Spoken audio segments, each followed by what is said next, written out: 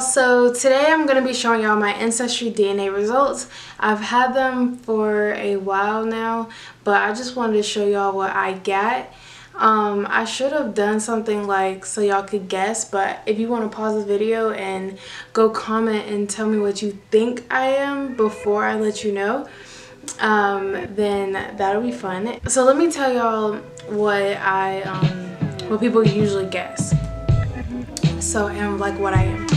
So I usually get Hispanic, um, especially living up here um, around like New York and New Jersey because there's a lot of different Hispanic cultures and a lot of people just come up to me talking Spanish, speaking Spanish, and I have no clue what they're saying. I'm not Hispanic. I am actually biracial. My mom is black, my dad is white, and um, I'll put a picture up of them. Obviously, on my mom's side, we knew that we came from Africa during the slave trade and ended up in Texas uh, somehow. And then on my dad's side, uh, he always said that he had heard um, Germany, German and Irish. So that's what I was, um, that's what I uh, thought I was or just assumed. Um, and also to find, like it was interesting to find out because my aunt did before me. And we have a grandma, well, her grandma, my great grandma, claimed like that she was, um, that her mother was full Cherokee. Um, and when we did our results, we are not Native American, especially for it to be that um, close in the bloodline. I've had like, it was like a low confidence region for me and my aunt. So it's really interesting to see that. Um, and I can post a picture of her as well. Uh, so yeah, I guess I'll get into showing y'all my results. Alright, so, and I, am looking down on my phone, so that's why I'm looking down. Um, so my highest, which they didn't tell me, I'm not sure. I always thought that they would break it down between like continents first and then like show you how much percentage in that. Um, but if I did my math right, it's about like 40 total, 40% total from Africa, 50% total from Europe, and like the rest is just like scattered. If I if I can remember correctly. Um, but anyway, so my highest percentage that it shows is 31% Great Britain, which I was really surprised at because I had never heard that before. Um, and yeah, just for it to be that high of a percentage, that's like pretty cool to me. And then the next percentage is Ivory Coast slash Ghana, which is 12%. Um, but for my aunt, she got, and that she's like my first aunt, like my mom's sister, and she got, um, she got Ghana as like her second or third highest, and uh, Ivory Coast slash Ghana was my first highest, which I thought that my percentages would reflect hers, but just be lower, obviously.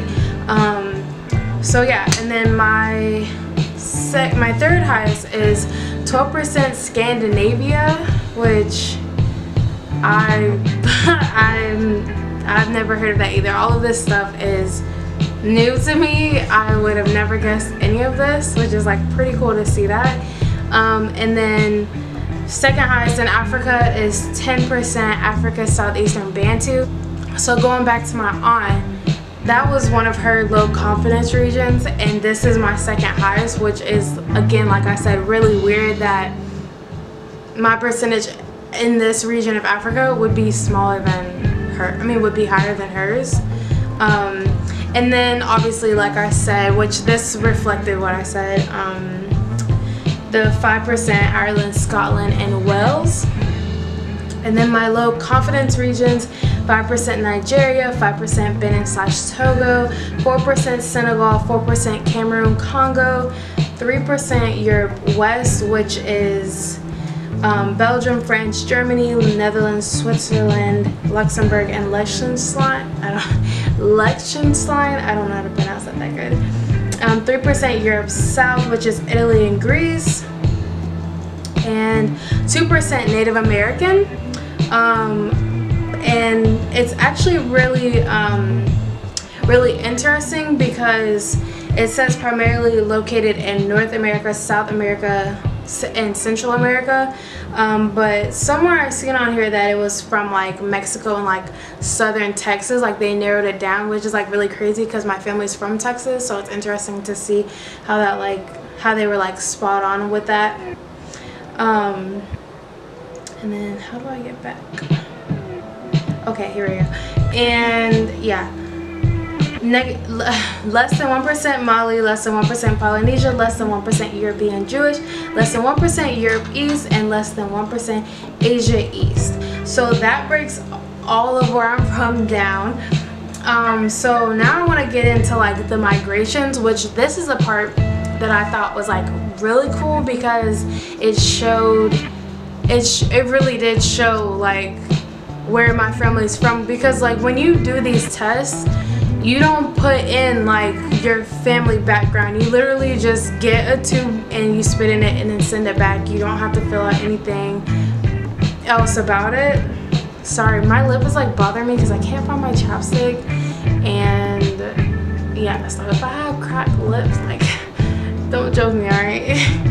so, um, so, okay, first off, on my dad's side, his dad, my grandpa, his family is from West Virginia. When I seen this, I thought that was so cool because it shows the migration into from Europe into Central Appalachia settlers or um, and also Eastern Kentucky and Northeast Tennessee settlers which I thought was like really cool because I didn't tell Ancestry DNA anything about that and they were able to um, they were able to um, go back and like see the migrations from Europe into the mountains.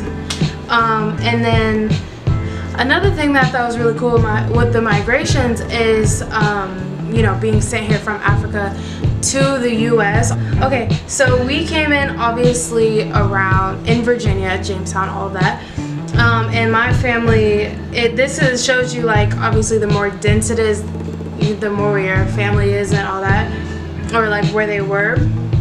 Um, and we, like I said, we're from Texas, and we traveled down south and then went all the way over to Texas. And if you zoom in, um, where is it? You can see it better on the on the um, oh here we go. I just gotta go a little bit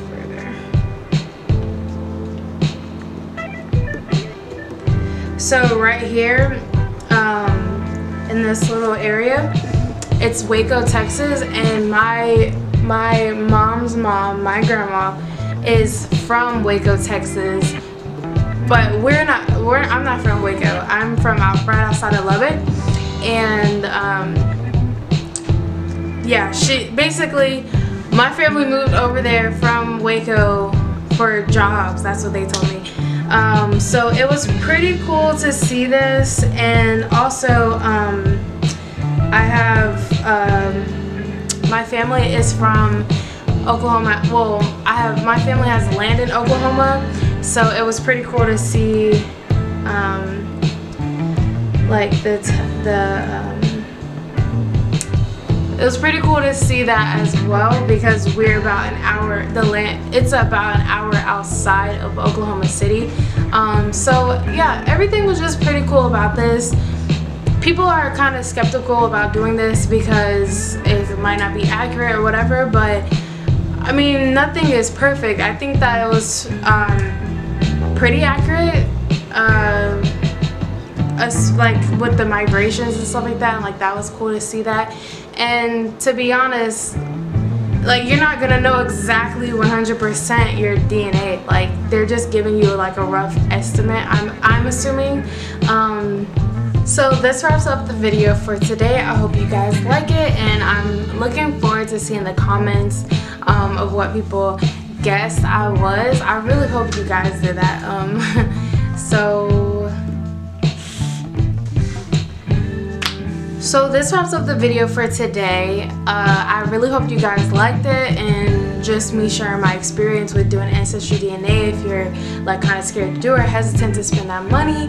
Um, I would say go for it because I was really excited to do it and my boyfriend's actually waiting to get his results back. They're supposed to be back like any second now. We're so excited to see that. Um, and yeah, I will see y'all next time.